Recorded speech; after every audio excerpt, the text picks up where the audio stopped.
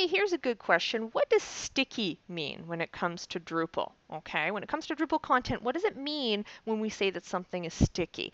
Let me explain what this means. Um, let's actually do this. Let's take a look at, say, this Jane Smith article right here. Welcome Jane Smith, our new guitarist. I'm going to go ahead and go back to the edit window. And I'm going to scroll down here. I'm going to start looking at these these options down here. We sort of we've been skipping over these, and I want to show these to you in more detail. Um, if we skip down to the bottom under publishing options, we've got a bunch of different options here. We see, you know, we can actually uncheck these, check these, and uncheck these. This is published would be what you would check and uncheck. Uh, you would check this to make sure that it actually gets published to your website. Let's say this was just a draft, um, maybe a draft piece of uh, content, a draft article, and you weren't done yet you could save it. You could click unpublished or, or uncheck published, and it would save as a draft, you know, on your site, and then you could go back and publish it later. Promoted to front page, can you guess what that means?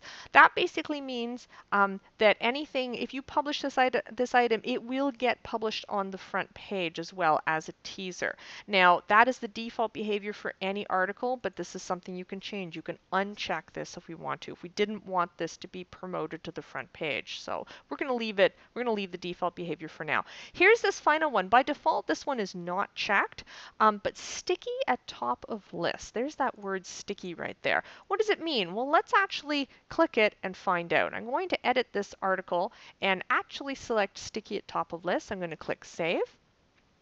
And okay, there's our article right there. It doesn't look very different, right? It looks in fact kind of the same. Let's go back to the front page and see what's happened.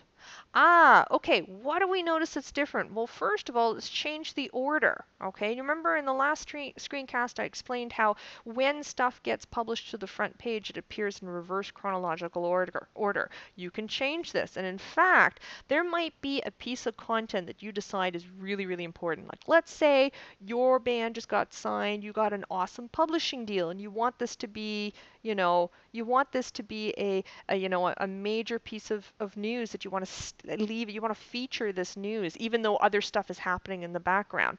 Um, you can you can make that article sticky.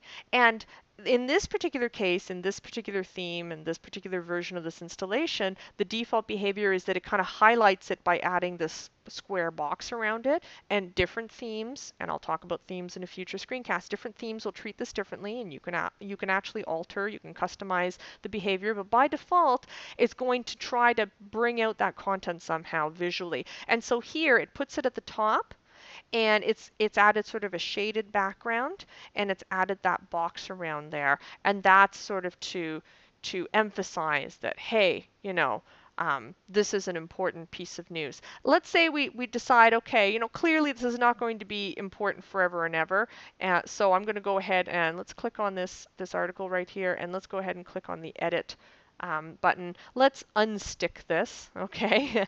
because, you know, eventually it's like, okay, we get it, Jane's your new guitarist, that's fine. Okay, let's add a new piece of content. What would be important to keep sticky? Um, how about we want to have an, an article about, um, uh, how about uh, um, tour, uh, um, uh, Japanese tour uh, tickets now on sale. There we go. Maybe that's something you want to have sticky. You want to feature that for the next month for all your Japanese fans or something. I don't know.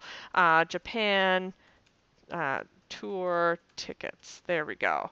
Uh, let's just do do do.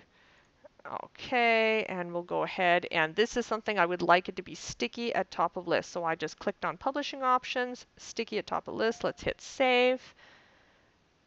Okay, there's the article. The article itself is not going to look any different if it's sticky, but if you go to the front page, let's go to the front page, we'll see, hey, this is going to be sticky. And then we can add some more content. Let's go ahead and add a new article here our new article is going to be, hmm, what is a new article going to be? How about um, um, our drummer wrote a new song and it's